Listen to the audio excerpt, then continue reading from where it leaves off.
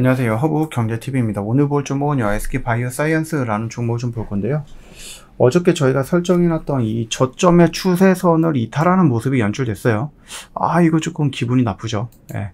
올라간다라고 했을 때 얘네가 그냥 이런 식으로 계속해서 올라가고 이 4만, 8만 5천원 라인 구간을 돌파해주는 모습이 연출되면 좋았을 것 같은데, 일단 한 차례 정도 음봉이 더 나오긴 했습니다. 그렇다고 해서 우리가 이 저점의 추세선이 이탈이 된 거지 옆에 있는 이 수평의 추세선을 이탈한 것은 아니거든요.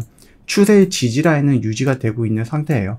그래서 혹시라도 음봉이 또 하나 밀린다라고 했을 때 77,500원이라든지 아니면 21선 라인 구간을 지켜주는지 우리가 한 번 더 확인해 볼 필요는 있을 것 같습니다.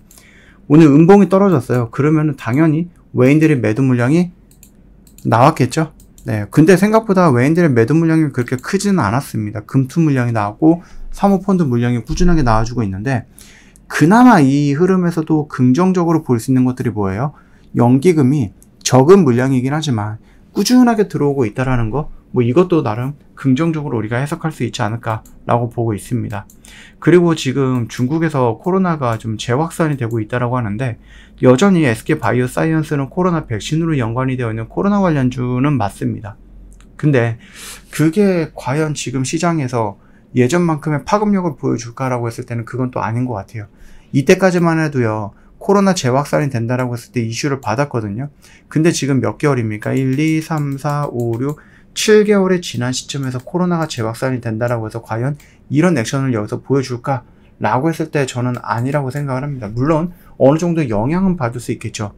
그리고 코로나가 재확산이 된다라고 했을 때 어, 조금 중단이 됐다 아니면은 사람들이 잘 안 맞고 있는 그 백신에 대해서 다시 한번 생각을 해볼 수가 있는데 그렇게 된다라고 했을 때는 백신을 맞아야 될 것 같은데 화이자 보도나 10만 원대예요. 되게 비싸졌어요. 그러다 보니까 어, 사람들은 자연스럽게 뭡니까? 다른 가격대죠. 그러니까 조금 더 싼 가격대의 백신을 어, 찾아보겠죠.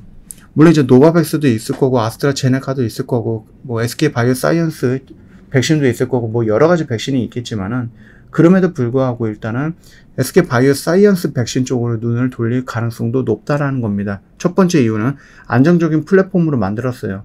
그러다 보니까 부작용이 화이자나 모더나에 비해서 알려진 거에 비해서 더 적다라는 거죠. 물론 효능이 화이자 모더나처럼 막 90% 이상의 그런 효과를 보여줄지는 모르겠지만은 그래도 뭐 어떻습니까? 80%면 어떻습니까? 지금 코로나가 많이 약해졌으니까 그 정도도 충분하다. 대신에 싸잖아요.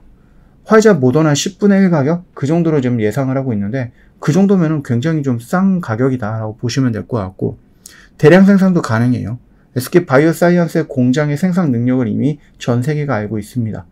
그렇죠? 그리고 우리나라에서 만들어졌고 그리고 그 공장 시설의 안정적인 부분이라든지 이런 것도 다 알고 있고 그러다 보니까 SK 바이오 사이언스에서 만들었던 스카이코비원이라는 부분이 어떻게 보면 game changer가 될 가능성은 있습니다. 코로나가 뭐 계속 지속이 되게 되, 된다라고 하면은 결국 이제 백신을 찾게 된다라고 하면은 이쪽으로 좀 찾아올 가능성은 있다라는 거죠. 물론 그런 가능성인 거죠. 기대를 하는 거죠. 현실이 그렇게 된다는 얘기는 아니니까 그걸 조금 구분해서 들어보시면 될 것 같아요. 자, 일단은요, 지금 당장에서 오늘 음봉이 나오기는 했습니다. 그래서 5일선도 이탈을 했고, 저점의 추세 라인도 이탈을 하는 모습이 연출되기는 했죠. 그럼에도 불구하고 옆에 있는 수평의 지지 라인을 이탈한 것은 아니기 때문에 이런 분위기를 만들어서 이렇게 가기를 원했습니다. 솔직히 말씀드리면. 근데 여기서 이런 식으로 왔고 다시 밀렸거든요. 그러면 여기 라인 구간에서 지지받고 이렇게 올라가도 되죠? 네. 우리 당장 우리가 좀 봐야 될 것은 어, 외인들의 매수 물량이 들어오는지 예, 그거랑 연기금이 매수가 연속성을 가지고 들어오는지 이 두 개만 일단 수급적인 부분에서 체크를 해봅시다. 지금 나올 수 있는 악재는 싹 다 나왔거든요. 예, 실적에 대한 악재가 가장 크기는 했죠. 그리고 이거는 뭐 결과적으로 실적이 나쁘게 나왔다는 것은 어, 어쩔 수 없는 거고 그러면은 이 코로나 백신을 생산을 하면서 이만큼의 매출을 올렸다가 생산 중단을 하니까 매출이 이만큼 쪼그라들었어요. 그러면은 생산 중단은 계속해서 유지가 될 거기 때문에 여기서 더 이상 매출이 줄지는 않을 거다라는 거죠. 그러면 여기서 이제 성장에 대한 가능성, 저점을 찍었다라는 그런 기대가 그런 것들이 살아있다라고 하면 충분히 주가는 끌어올릴 수 있다. 이렇게 생각해 주시면 될 것 같습니다. 오늘의 음봉, 뭐 살짝 아쉬운 부분은 있지만, 그럼에도 불구하고 막 예전처럼 막 이런 정도의 하락 구간이 또 이렇게 연출이 된다. 그건 아닐 거라고 좀 생각을 합니다. 그러니까는 조금 더 지켜보자 라고 좀 말씀을 드리겠고요. 제 영상 올려드리면 영상 댓글에다가 링크 달고 있죠. 예, 이거 클릭을 하시고요. 화면 연결되면 무료 종목 신청을 눌러주세요. 저희 허브경리TV랑 일주일에 한 다섯 종목 같이 매매를 해보시면 될 것 같아요. 시장이 어렵다, 애매하다, 손실 나고 있다 하시는 분들은 무조건 무료 종목 신청을 하시고요. 저희랑 다음 주에 매매를 같이 한번 해보시죠. 어려운 시장일수록 혼자서 버티는 것보다 저희 허브경리TV를 활용하고 이용을 해서 그 시기를 잘 벗어나면은 나중에 또 좋은 시장이 됐을 때 혼자 매매해도 되잖아요. 원금도 지키고 저희랑 매매하면서 다섯 종목을 청산할 거기 때문에 자신감도 챙겨 가시고 다섯 종목 청산이 되면은 원금을 잃는 게 아니라 원금을 조금 늘려나가는 그런 결과도 있을 거니까 굉장히 좋을 것 같아요. 네, 그러니까 너무 어, 걱정하지 마시고 네, 혼자서 버티지 마시고 언제든지 괜찮습니다. 근데 주말에 하겠다 하시는 분들은 제가 봤을 땐 좀 까먹을 것 같아요. 그래서 내일 뭐 내일이든 다음 주든 시장이 여전히 애매한 시장에서 그 기회를 놓칠 수가 있는 거잖아요.